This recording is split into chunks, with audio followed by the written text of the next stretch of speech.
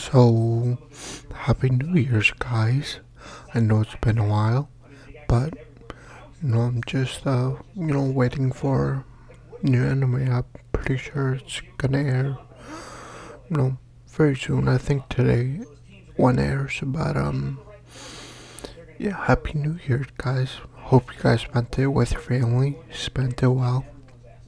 I spent it well. But um, today, aside from wishing you guys a happy New Year's, I also wanted to talk about this news that I woke up to. So I was on Twitter and this kind of popped up. This um, we kind of already knew. Like I made a video on it, but seems like we got a new um key visual, or maybe I'm mistaken. But um, yeah, just wanted to kind of bring this up. I know it's nothing really, anything actually new, but we did get like a key visual, I guess. But um, yeah, but for now, I'm just hoping for.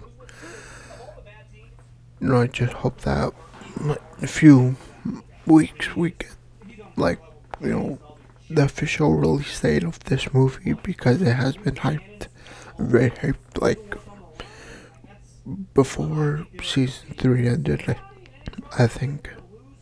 Um, you know, I've been excited. It's been this movie's been announced, and yeah. But um, other than that, I did want to wish you guys happy New Year's, and um, yeah, that's kind of it. But um, like I said, I'm sorry that I've been on all the anime. Um, you know, just waiting for a new anime to come out, but um,